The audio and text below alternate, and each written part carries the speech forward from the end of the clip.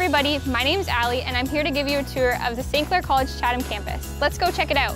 When you first arrive on campus, you'll see the registration office. They're here and ready to greet you and answer any questions you might have.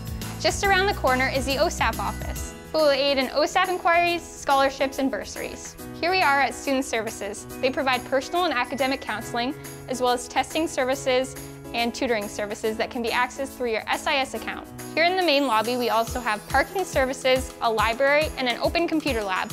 Here we are at the Thames Campus Bookstore. You can order your school supplies at www.stclairthamesshop.ca and pick up your supplies right here. Hey, look who it is, Hannah, our TSI president. Hannah, can you tell us a little bit about the Student Center? For sure. Right now we're in Bean and Barley where students can stop in to grab a bite to eat throughout the day. It has wraps, burgers, poutine, and so much more for you to eat. So Hannah, tell me a little bit more about what goes on in the Student Center. Behind us we have Carl's Snack Bar where students can grab refreshments and snacks on their way to class. Hmm. As well as we're hosting tons of in-person and online events throughout the school year, hopefully in this space here.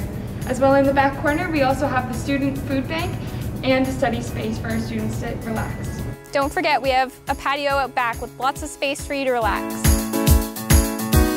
This is our Chatham campus residence. It houses 72 students. Let's go in and check it out. Here we are in our fully furnished living space, which features a flat screen TV. You have a full kitchen with a fridge, freezer, dishwasher, and a stove. Each suite features four bedrooms, two bathrooms, and in-suite laundry. This is our Healthplex, where students have access to a double gym, a walking track, and a fitness center. And right beside the Healthplex is our Thames Campus Arena. And just across the road is our National Powerline Training Center. If you're a nursing student, you'll be spending lots of time at the Mary Uniacke Health Sciences Education Center. Don't forget to follow us on Instagram, Facebook, YouTube, Twitter, and TikTok. See you, Saints!